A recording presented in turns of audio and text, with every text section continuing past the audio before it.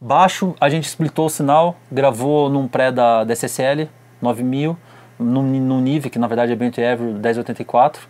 E esse baixo estéreo, eu nem sei o que, que é isso aqui, cara. Deixa eu ver o que, que é. Não lembro. Ah, é só uma frasezinha que a gente fez um chorus, que é isso aqui, ó. Deixa eu dar um play aqui. É só isso. Que a gente montou ali, porque na verdade eu lembro que o baixista é, pediu pra pintar mais esse fraseado, aí eu dobrei na mix e botei um efeito muito louco pra chamar mais atenção. Massa. Ó, o baixão aqui. Aí tem um canal de, de drive que eu criei com o Sansamp, padrão. Equalização, eu gosto bastante desse plugin, o 33, é 31102 da, da Nive, que eu gosto bastante. E um compressor da Teletronics. Vou dar um play no baixo aqui.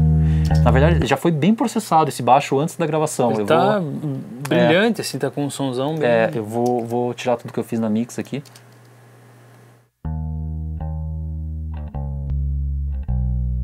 Ele já vem com bastante cor já na, na gravação, né? Uhum. Isso é bem legal. Ó, mostrando só o, o 9000. Tem até uma distorção, que é legal. E o Nive, que é o principal som, né? Um tá com... A diferença de volume deles é bem grande, né? Aham. Baixão, basicamente é isso. Passando para as guitarras aqui. Um detalhe bem, bem legal das guitarras é que eles começaram gravando o disco com as guitarras. Não foi batera. Guitarra e metrônomo. Guitarra e metrônomo. Eles Legal. tinham uma pré-produção que feita lá em São Paulo. E daí eles começaram o disco gravando guitarra. Aí exageraram, né? Eles gravaram lá atrás, colocaram um 421 57 na, na boca do falante e um pai de 87 pegando o ambiente. E acabou que foi tudo para mix. Aí esses quatro canais estão indo para um canal auxiliar da E guitarra. aí aqui. tem quantas guitarras gravadas? Cara, essa, música- essa, essa É uma música só? é só uma só. Mas aí tem, tem um chorus que eles colocaram na gravação mesmo.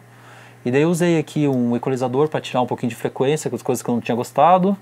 Um compressor e um equalizador. Bem básico também.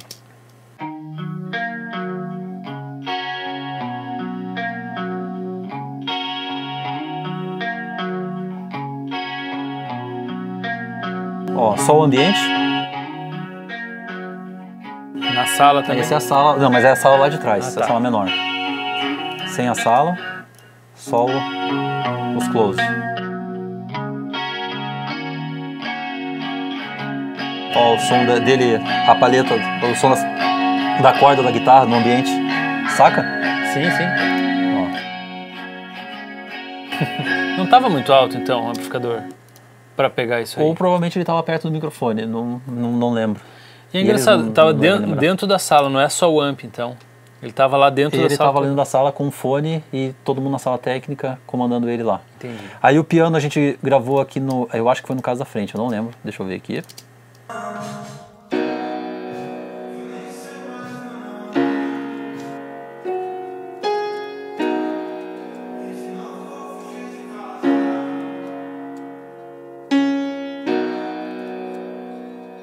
Esse é o som do piano. Foi Esse, esse barulhinho é, o, é, a cadeira? cara, é, é o mecanismo do piano com a cadeira. Foi, foi Ah, utilizado tá. um microfone de fita no meio e um LR com os 87 também. Legal. E aí aqui, cara, bem básico, bem básico não, equalizei pra caramba. Nossa, eu puxei, nossa, deixa eu desligar. Essa vai dar bastante diferença de som. Tá bem filtrado o som do piano.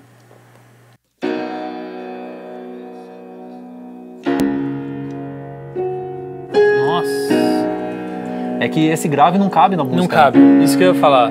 É, Quando a gente tá ouvindo o piano solado, às vezes você pensa, nossa, mas tá um som sem graves, mas é que na música tem um monte de coisa grave, né? Não tem por que ficar somando. Isso, isso é uma é uma discussão que assim que, eu, que a gente tem bastante aqui no estúdio, principalmente com outros engenheiros de áudio que, que eu converso, que a gente tem uma mania de deixar os instrumentos maiores do que eles são.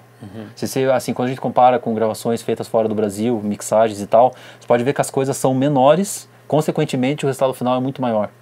E é, é difícil você ter esse controle, né? Esse grave, se tivesse esse grave no piano, é, não ia caber o bumbo, não ia caber o baixo, não ia ter Começa a todo- embolar. Exatamente. Começa a embolar. É, é, é uma física, né? É, dois, é, dois, dois elementos não ocupam o mesmo espaço. Entendi. Mixagem é, é isso, né? Aí o piano é isso, tem uma dobra que ele fez ali e tal. Aí falando rapidão, tem um delay. Eu sei, cara, geralmente os delays que eu uso é todos da Echo Boy da, da Sound Toys. Aí eu usei esse Apex, que é um, um exciter da Waves. e um H reverb para deixar um pouquinho maior a cauda do reverb da sala. Ah, Também no, na, no som do piano. entendi. Aí, o, daí indo aqui, são dois synths que eles são bem, assim, eles dão uma vibe pra música e tal, né? E o Shimmer pegou bastante no meu pé com esses na mixagem. Eu equalizei, é. Eu- ah, eu também esse, é, dei um- uma excitada no som.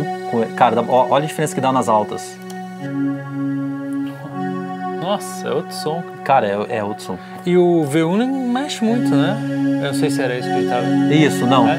Mas é que assim, é uma parada bem agressiva. N- Nesse tipo de som, especificamente, quando, quando as pessoas querem que soe lo-fi, a compressão paralela, pra mim, conta muito, porque esse processamento de compressores e, e, e- e exciters, eles que definem essa sonoridade, sabe?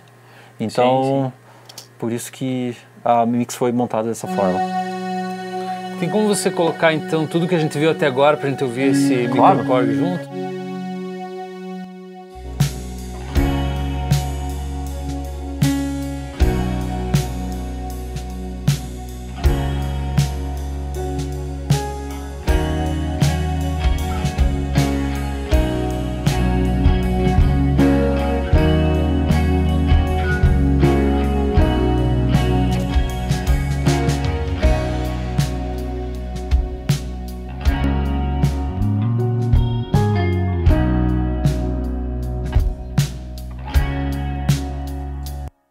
Aí, cara, os backs, são dois backs que tem no final, não vamos nem.